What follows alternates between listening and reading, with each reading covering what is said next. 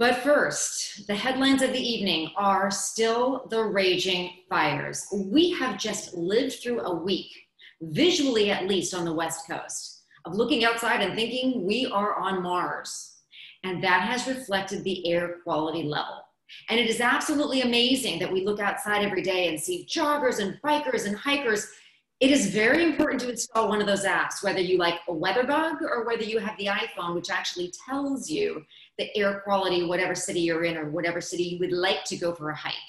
And it gives you what to look at in order to determine whether or not that's the best idea. Now, I know what you're thinking. First, they tell us we can't be inside, we have to be outside because of COVID concerns. Now they tell us we have to be inside, not outside because of the air quality. First, we have rolling blackouts and we have to open our windows because their air conditioning is off. Now they're telling us we have to keep our, basically our windows shut because the air quality is so bad. Well, thank God we didn't at least suffer rolling blackouts and low air quality at the same time. So I suppose that is the silver lining because we're all about the silver lining here at Live on Dr. Wendy.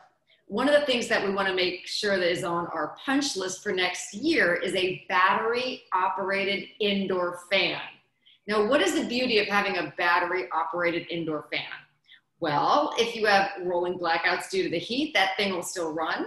And if at the same time, as we did last week, you also have raging wildfires that make your sky look like something from an end of the world disaster film, and you can't open the windows because of the low air quality, you can still enjoy that battery operated fan. So I hate to almost say that because they're probably going to fly off the shelves, but probably something everybody thought about to begin with anyway.